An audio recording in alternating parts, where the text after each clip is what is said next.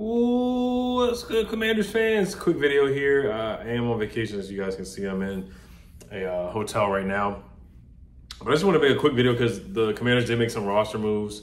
Uh, not big moves, but I'll talk about the releasing of Armani Rogers first because I did like Armani Rogers and I did pick him. I didn't make an official 53 man roster, uh, but I did make a prediction of which tight ends would make the roster, and I picked him to make it. So I'm already wrong on that. But of course, I will be doing a, another 53 man or a an official 53 man roster prediction before the picks, before uh, Dan Quinn and Adam Peters make their decision in September or whenever it is after the three preseason games. But I do want to pour one out for Armani Rogers.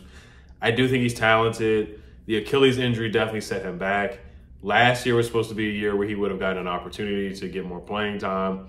I thought he did show some things his rookie year, the reverse sweep even though it was only two or three plays, like you saw the talent, you saw the flashes, you saw the speed, you saw the athleticism, the explosiveness there in one or two or three plays. And it's like, we don't really get that from the tight end position. We're hoping we get that from Ben Sinnott and a little bit of that from Zach. Zach no, yeah, Zach, you're not going to get YAC ability from Zach, but Zach is doing a good job in training camp. We've seen Zach Ertz for years put up big numbers and good numbers uh, in the league. But uh, Armani Rogers, I think he will be picked up somewhere else. Just like Dax Milne was signed by the Raiders, and Percy Butler was already signed. Uh, Christian Holmes was already signed by the Giants, if I'm not mistaken. So Armani Rogers will be signed. Will he make a roster, a 53 man roster? That's a that's a to be to be determined. But I do think he I think he deserves a spot in this league for sure. So I'm rooting for Armani Rogers. I think he'll be picked up somewhere else. And um, you know, he was UDFA. I think for a UDFA, I think he's a, I think he's a darn good prospect. I think he's a guy that should be on a practice squad or on a team, uh, getting better day by day, year by year. I think he can help somebody. I think he can be a number, a good number three tight end, or a good number two tight end, or a red zone threat. How tall is Armani Rogers? Like six, six four, six five, something like that he's a big fella. He's a big fella. I think he might be six six or something like that. But uh, he's a big fella. He's a big fella. All right, so let's move on to the guys that we did sign here very quickly. Um, they did put Alex Akingbulu. Uh, they waived him with an injury designation. He was carted off the field per Nicki Jhabvala in practice the other day. So you know, and then Brandon Coleman didn't practice the other day, but he should be he should be ready for the Jets joint practice. And then Andrew Wylie has not, he's been out with tightness. You know, he hasn't really been participating in practice. So we kind of are, I'm not going to say down at the tackle spot, but, you know, we got some injuries going on and stuff like that. Guys that are not 100%, you know, I mean, it, happens through training camp. So they decided to sign tackle Alex Taylor. Uh, you look at Alex Taylor. Now, Alex Taylor hasn't really played much in the league, but he, he some time with the Browns uh, the Bears, with the Browns again, with the Cowboys, and he played in the USFL with the Birmingham Stallions. Stallions, six foot eight. He did play basketball. Uh, he also is related to Pierson Prioleau. Pierson Prioleau did play at Virginia Tech. I do remember the name. He, he played defensive back at uh, in in the NFL as well. Now you look at some of the write-ups. Now he most likely he's just a camp body, but we need a body in there with Alex Akingbulu out we need a body for preseason for the joint practice and whatnot. So we need another guy in there.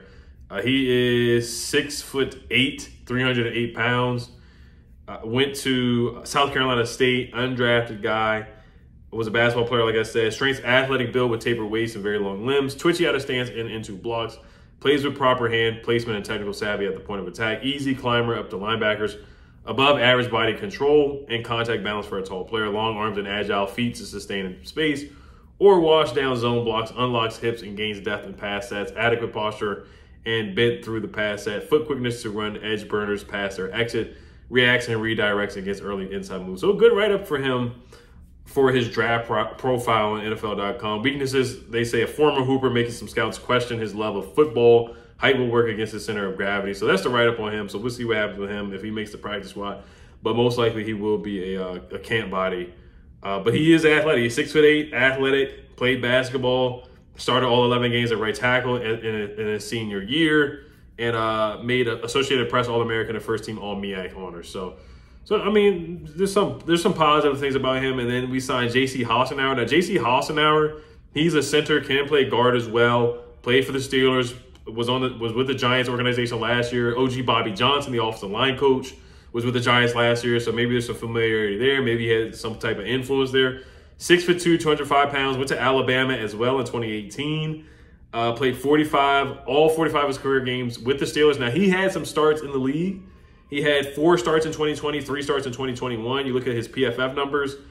57 uh, run block grade, 52 pass block. I mean, I'm sorry, 57 overall PFF grade in 2020, 52 pass block, and a 52 uh, pass block grade and a run block grade of 68. So that's a write up on him. 2017 was a senior played in eight games and played guard and center. I also played in, there was like a big game that he played in. Played in the national championship game against Georgia as well. So he's played in some big games, has some experience there. Most likely another camp body, but you know, you got Mason Brooks playing guard and center. You got Ricky Stromberg still on the roster. So he's going to be battling with those guys. I don't think he'll make the roster. Maybe he will. We'll see, or on the practice squad and then get a couple games. So that's really about it.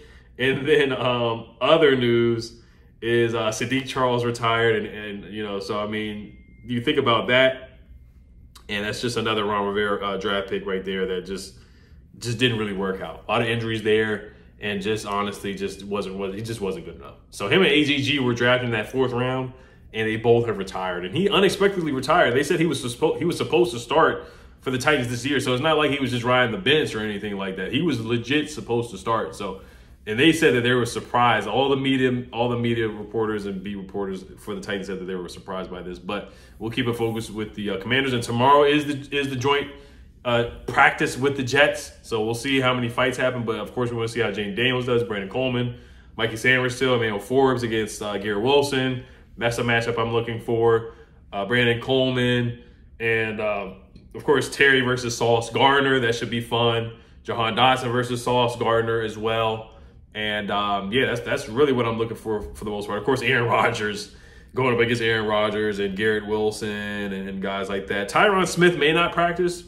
So I did want to see, you know, Dante Fowler and Dorance Armstrong going, going up against Tyron Smith. And guys like Morgan Moses is on the Jets, too. Tyler Conklin is a good tight end.